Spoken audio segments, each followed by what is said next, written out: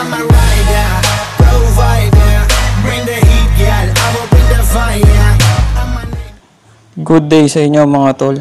Welcome ulit sa akin channel. No, sa video natin ngayon ay ipapakita ko sa inyo yung isa sa mga tools na ginagamit natin sa ating mga motorsiklo. So lalo lalo na sa mga underbone na tinatawag na merong mga kadena. Yung tools na to mga tol, ito yung tinatawag na chain cutter. Ito yung ang purpose na itong chain cutter na to. Syempre sa pangalan pa lang which is pangkat na pangkat siya ng kadena. So kailan ba natin ginagamit to mga tol? So ginagamit natin to kapag nagkaabit tayo ng kadena tapos sumobra siya tapos kailangan mo magbawas.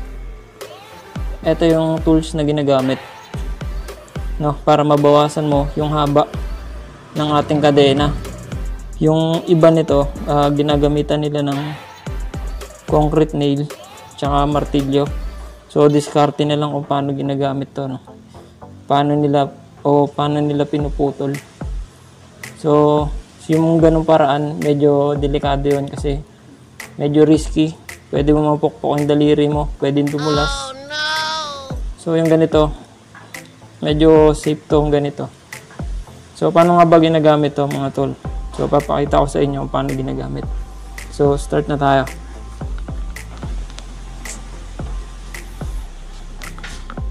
A few moments later. So yun mga tol, kung makikita nyo, binaklas ko muna tong ating ano, chain cutter no, para makita nyo kung ano ba yung mga meron parts dito o paano ba gumagana to. Bahala ka sa buhay mo. Ah, paano natin nagagamit to. So meron siya dito ano, body. Tapos ito yung sa gitna niya, yung parang naglalak sa kanya. Naglalak o, o nagiipit sa kadena. Dito siya nakalagay. Yan.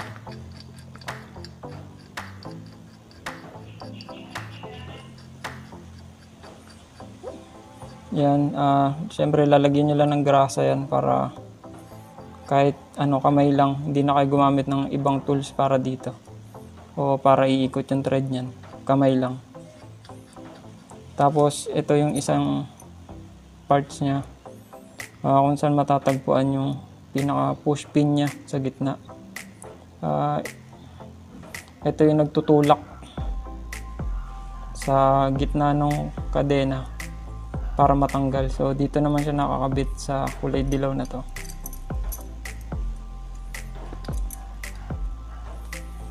Yan. Yan ang itsura niya.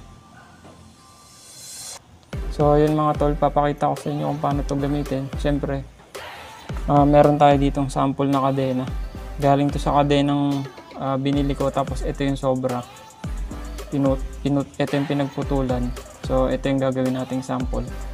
Sa paggamit na ito mga tol, no. Nakita nyo dito sa ating kadena. Meron yung nakausli. Ayan kung makikita nyo, may mga nakausli dyan.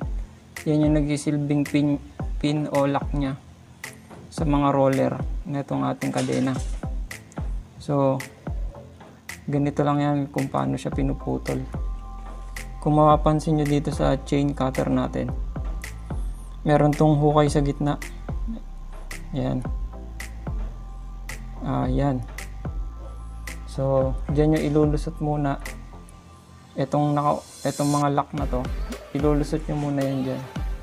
So, hindi siya kasha. Adjust ko lang muna. Yung mga tol, ipapasok nyo yan dito. Tapos, ilulusot nyo siya dyan sa gitna. Kailangan ma-shoot yan. Yan. Yan. Kailangan ma-shoot siya dyan sa gitna. Tapos, itong dilaw naman, ang, ang magsisilbing lock niya o ipit, mag-iipit sa kanya. Yan, kagaya niyan. Para hindi gumalaw yan habang pinup iniikot natin tong push pin niya sa gitna. So, yun ang purpose na itong dilaw na to. Eh, siya yung pinaka nag-iipit dito sa kadena para hindi sumabla yung pag ano natin pagputol Yan. Tapos, tsaka pag na higpitan nyo na yan, naipit nyo na, tsaka nyo iikutin to, pababa. Siyempre, ma mararamdaman nyo medyo matigas lang. Lalagyan nyo lang ng pwersa. Yan.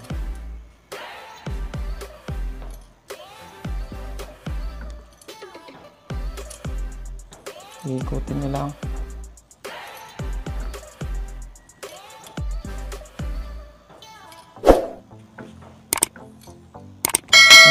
Lumabas yung pinaka lock niya sa gitna. So yun, naputol na natin. Kaya niyang sumagad hanggang dulo. Ayan. Ito yung pinaka-lock niya. Nahulog na. So titignan natin kung ano itsura ng naputol.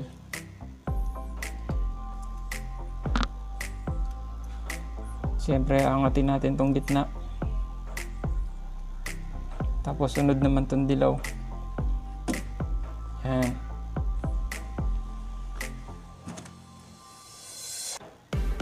Yun, perfect yung pagkakaputol niya mga tol.